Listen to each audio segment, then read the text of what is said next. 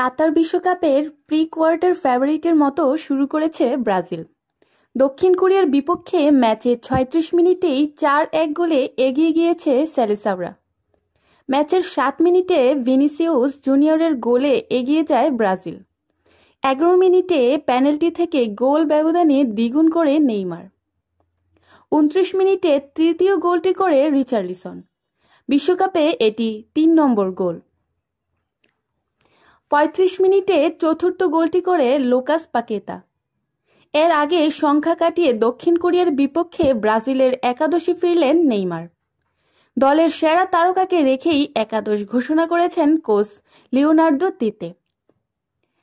কাতার বিশ্বকাপে গ্রুপ পর্বের প্রথম ম্যাচ সার্বিয়ার বিপক্ষে চোট পান নেইমার। তার গোড়ালির রিগামেন্ট ক্ষতিগ্রস্ত হয়েছে বলে গুঞ্জন ছড়ায়।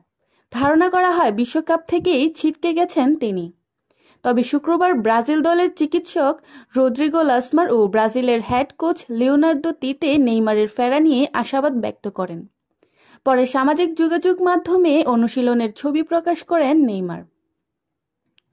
এর আগে রোববার ম্যাচে পূর্ব সংবাদ সম্মেলনে তিতে বলেন, নেইমার অনুশীলনে ফিরছেন।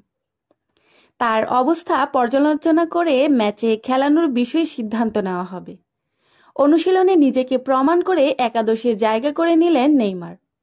ফলে প্রি কোয়ার্টার রিচার্লিসন ও ভিনিসিয়াস জুনিয়রের সঙ্গে ব্রাজিলের আক্রমণে নেতৃত্ব দেবেন তিনিও। News desk Cumilla TV.